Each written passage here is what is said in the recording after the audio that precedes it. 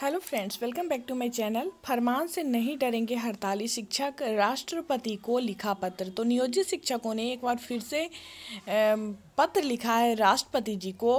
और जो भी फरमान नियोजित शिक्षकों के लिए आ रहा है उससे नियोजित शिक्षक डरने वाले नहीं हैं कहा कोरोना के बचाव के साथ मांगों को लेकर जारी रहेगी हड़ताल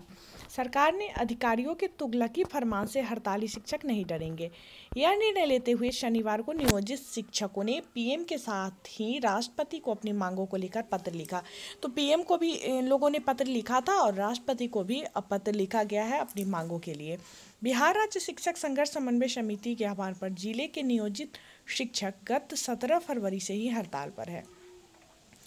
टी एस टी टी उत्तीर्ण नियोजित शिक्षक संघ गोप गुट के जिला अध्यक्ष मृत्युंजय कुमार ने कहा कि हजारों नियोजित शिक्षक पूरी ताकत के साथ यह प्रण और एक संकल्प लेकर 17 फरवरी से अनिश्चितकालीन हड़ताल में आए थे तो बिहार के जितने भी नियोजित शिक्षक हैं सारे एकजुट होकर एक संकल्प लेकर 17 फरवरी से ही हड़ताल पे आए थे जिले के सभी हड़ताली शिक्षकों से अपील करते हुए कहा कि हम तब तक न रुकेंगे न झुकेंगे जब तक कि राज्य कर्मी एवं सहायक शिक्षा का दर्जा सहित पुरानी सेवा शर्तों को प्राप्त न कर ले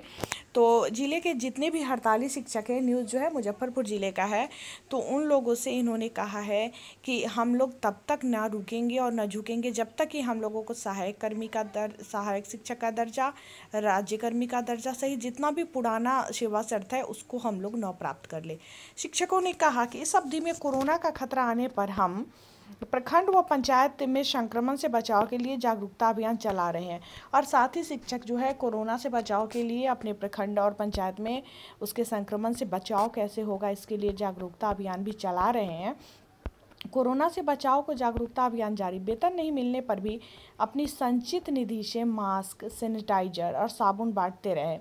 लॉकडाउन में सोशल साइट के माध्यम से कोरोना के संक्रमण से बचाव के लिए जागरूकता अभियान जारी रखे हुए हैं तो इन लोगों ने सोशल साइट के माध्यम से कोरोना के प्रति जागरूकता कोरोना से कैसे हो ये सारा अभियान जो है इन लोगों ने जारी किए हुए है और जिला मीडिया प्रभारी विवेक कुमार ने कहा कि हड़ताल खत्म करने के लिए तरह तरह के हथकंडे अपनाए जा रहे हैं हड़ताली शिक्षकों को सरकार के तुगलकी फरमान और दमनात्मक कार्रवाई से डरने की कोई ज़रूरत नहीं है तो इन्होंने ये भी कहा है कि सरकार का जो भी तुगलकी फरमान आ रहा है तरह तरह के हथकंडे गवर्नमेंट के द्वारा अपनाया जा रहा है तो इन चीज़ों से डरना नहीं है किसी भी तरह की कार्रवाई या दमनात्मक नीति जो सरकार की है उससे डरने की ज़रूरत नहीं है तो इस वीडियो में बस इतना ही था छोटा सा नियोजित शिक्षक से संबंधित अपडेट था